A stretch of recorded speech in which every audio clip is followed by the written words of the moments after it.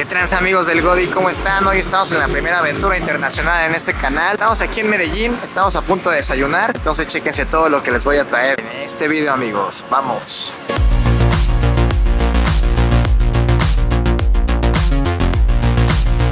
Llegando de un vuelo de 4 horas, primero fuimos a desayunar un rico chicharrón con arroz, frijoles y arepas.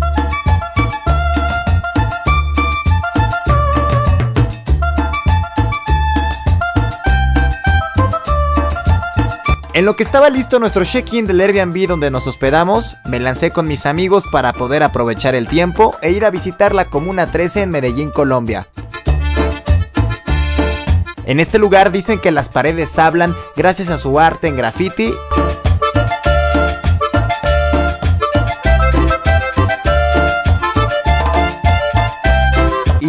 muchísimas tiendas donde el arte visual, el 3D y por supuesto el color neón se combina para darle un contexto a esta comuna que hace unos años vivió un momento delicado.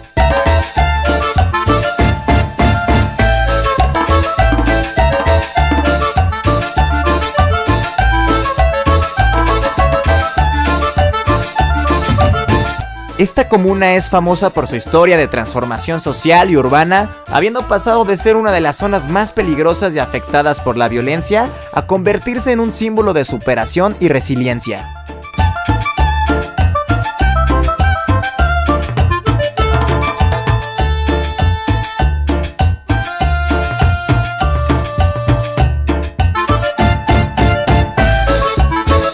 Donde nos tocó ver muchísimo arte y por supuesto la calidad del freestyle y el bailongo. La sutileza, yo quiero que todos hagan una algarabía, pero el que me haga bulla es un policía. Es un policía que es la ley y vienen de México. Al nuevo güey, Vicente Fernández siempre va a ser el rey porque escribió su nombre en la pica del. Y mis amigos se rifaron con el freestyle, donde los pueden seguir, brother. Ey, P-O-K-E, guion bajo Venezuela, Poke Venezuela, el freestyle, la cara de medallo. Desde Comuna 13 Flacos.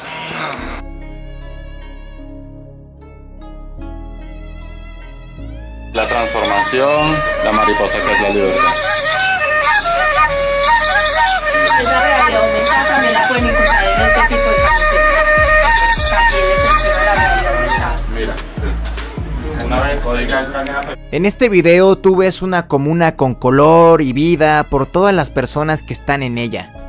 Pero esto representó una gran tragedia donde ahora por medio del arte urbano las historias de la comuna hablan.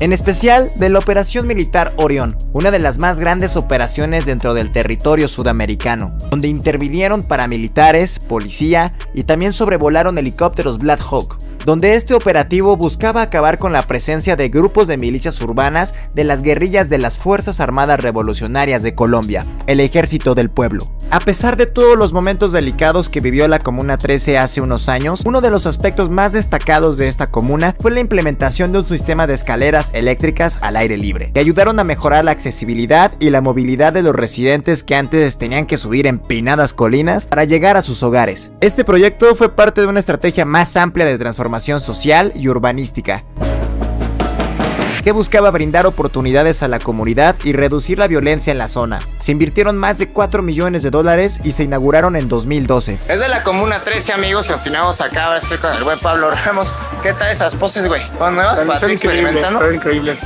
Amigos del Godi, aquí seguimos en la Comuna 13, entre más bebés. No, no vaya a decir. Y uno está escogiendo sus artículos. Lo primero que ve siempre pensando que es alcohol y aguardiente antioqueño. Continuamos en la Comuna 13, flacos.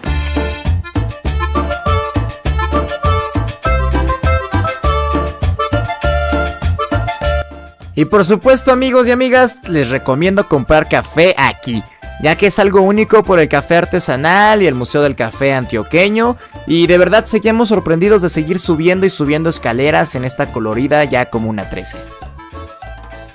Amigos, ahora estamos en uno de los miradores de aquí de la Comuna 13, aquí estábamos viendo este pistón, se los dejo enseguida.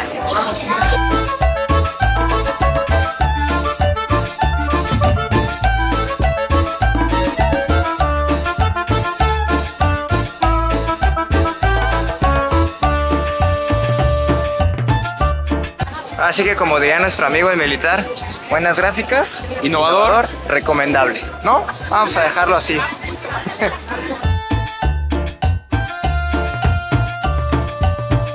Seguimos recorriendo todos los museos de arte urbano de la Comuna 13 y por supuesto las tiendas donde puedes surtirte vasto amigos. De verdad, las obras que veía aquí son únicas y te envuelven del color neón. Aparte visitas museos donde te ponen gafas en 3D y puedes obviamente visualizar estas obras en su máximo esplendor.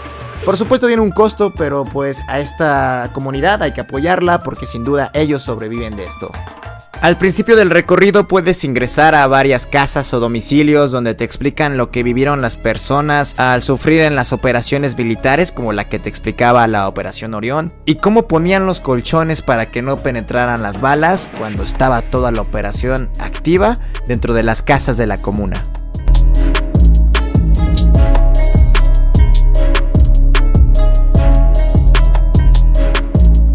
Puedes también observar las armas que afectaron a la comuna y que pues amenazaron y también que a lo mejor tuvieron decesos.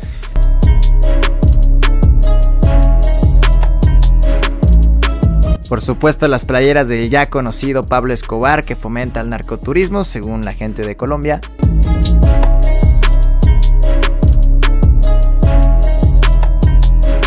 En estas maquetas te enseñan cómo estaba organizada toda la comuna dentro de la operación.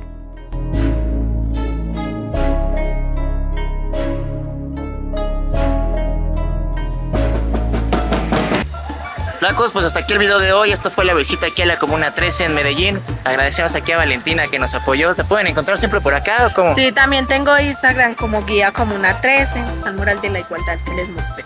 Perfecto, pues acá amigos, nos vemos en la siguiente. Ya saben, yo soy el buen Sergio Godoy. Ahí nos vemos. Bye bye. Aún viven testigos que estuvieron en aquellos tiempos delicados de la Comuna 13 que te explican cómo vivieron esos momentos de muerte y sin duda te recomiendo ir a esta zona de Medellín ya que lo vuelve instagrameable y puedes entender el contexto social y político de cómo ahora un barrio peligroso pasó a ser un barrio que se transformó en arte. Yo soy el buen Sergio Godoy, gracias por tus likes, suscríbete en el canal y nos vemos en la siguiente, bye bye.